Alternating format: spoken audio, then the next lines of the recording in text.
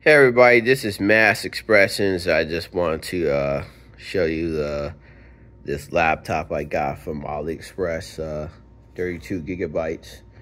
Um, 32 gigabytes and um, what is it? Uh, how many terabytes? It's uh, two terabytes, yeah. And uh, see notebook, really nice looking uh, package here. And uh, I really want to open it and uh, take a look at what's inside and all that great stuff. And, uh, you know, it's just uh, trying to uh, upgrade my tech and uh, just testing. I always want an AliExpress laptop just to see what them are about than the other laptops. I'm more of an HP guy. That's what I have. I've had that for like 10 years now. This is the first laptop I've bought about 10 years, unfortunately. You know, I'm trying to be a tech guru and all, but you know, this thing's got a, a very uh, top of the line graphics card though. That's what I wanted.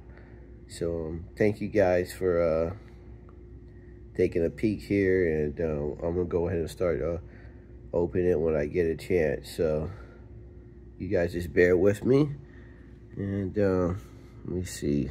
Let's just put the ca camera